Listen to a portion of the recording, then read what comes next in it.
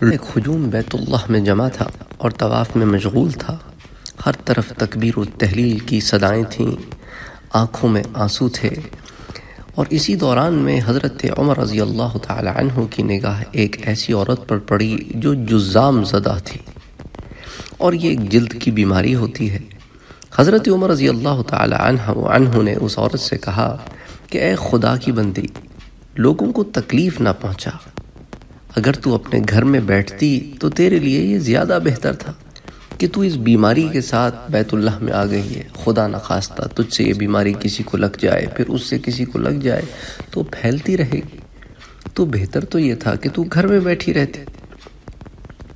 امیر المومنین کی اس بات پر اس عورت کو حیا آئی اور وہ اپنے گھر میں جا کر بیٹھ گئی۔ حتیٰ کہ جب حضرت عمر رضی اللہ تعالی عنہ کا انتقال ہو گیا تو ایک آدمی اس عورت کے پاس آیا پاس آیا اور اس سے کہا کہ تجھے طواف کرنے سے کس چیز نے منع کیا ہے؟ اور جس شخص نے تجھے طواف کرنے سے منع کیا تھا وہ تو فوت ہو گیا ہے۔ لہٰذا اب تو باہر نکل اور طواف کر۔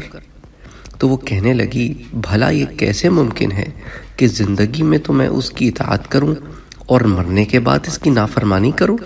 چنانچہ وہ عمر بھر گھر میں بیٹھی رہی، حتیٰ کہ اس کا انتقال ہو گیا۔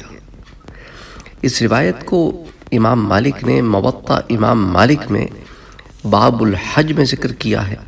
حدیث رقم دو سو پچاس۔ اسی طرح یہ حدیث کنز العمال کی جلد نمبر دس، صفحہ نمبر نائنٹی سکس پر بھی آتی ہے۔